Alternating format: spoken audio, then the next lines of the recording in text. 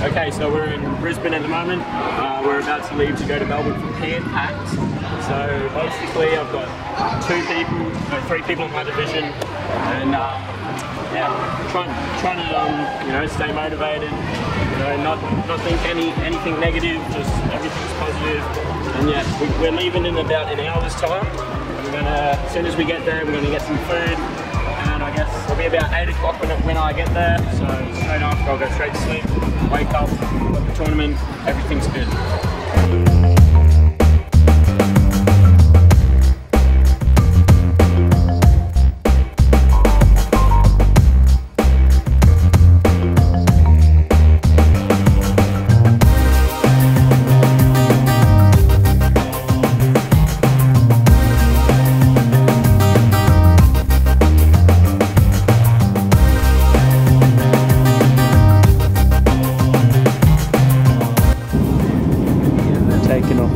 Goodbye, Brisbane. People looking nice and relaxed. People looking chill. Should be a nice flight. Alright, so we're landing in Melbourne at the moment. Looking pretty nice. City lights going off. Beautiful.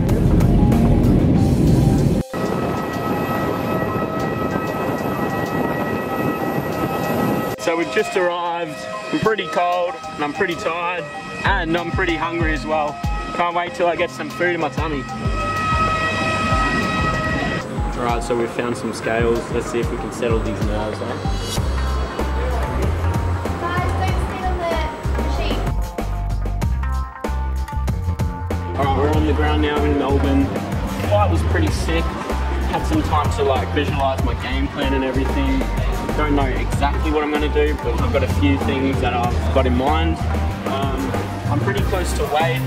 I got to, you know, lay it low on the, the eating a bit. I reckon when I wake up, I'm just going to have two Weet-Bix as opposed to like five. I'll weigh in, and if I'm on weight, I'll probably, you know, I'll eat, I'll eat a few muesli bars, have a have a Powerade or something. But yeah, I'm feeling good.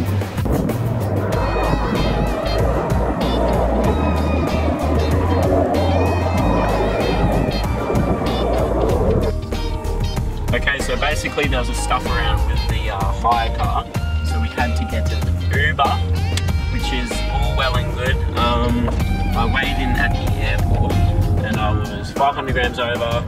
So basically, as soon as we get back, uh, we're gonna basically go to sleep so I don't get hungry.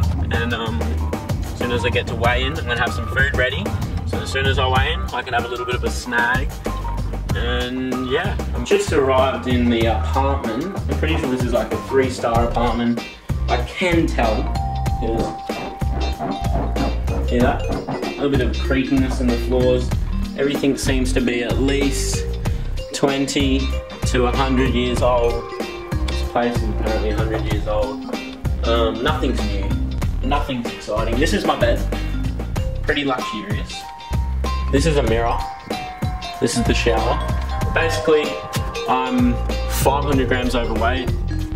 I'll obviously lose that within the time frame of today and tomorrow's weigh-in.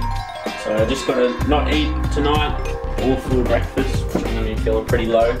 So straight after weigh-in, I'll have Powerade, have this, uh, have cheeseburger from Macca's. Um, yeah, it should be fun, should be cool. Gonna mingle with some people tomorrow, and yeah, just gonna have fun. See you tomorrow. Yo, so it's about uh, 9 o'clock now. I went to sleep pretty late, so I'm feeling pretty tired. But I'm gonna have a shower, wake up a little bit, and then yeah, I'm gonna go drive down to the competition. Pretty sure I should be underweight, everything should be all good. So yeah, see you at the competition. Alright, so I just finished my shower, getting tingles all around my body. Everything's getting butterflies, but I'm feeling jacked, ready to compete, ready to get on those mats. Alright, let's go. By the way, this uh, this door is absolutely jacked. Jacked to the max. Fully shut. Just need to push it. You can break in. That's three star apartment lifestyles, guys. Let's go. Alright, so I've just realised my battery percentage is only on 3%, so hopefully we can just get the flights in All right, so we're about to jump in an Uber to go up to the competition. Yo!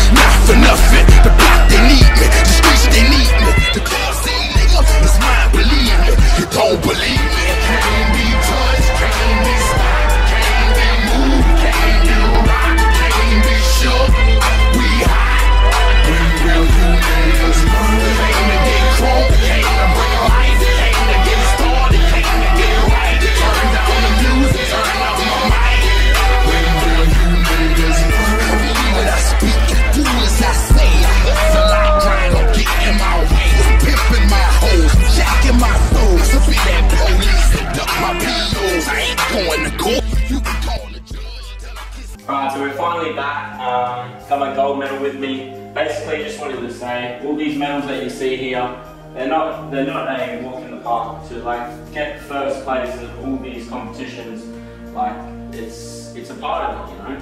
Like uh, basically, whatever you see here took a lot of guts and effort to um, achieve this.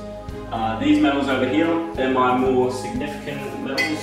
This is the Victorian State Champion, that was from last year. The Queensland, Queensland State Champion, the no gi.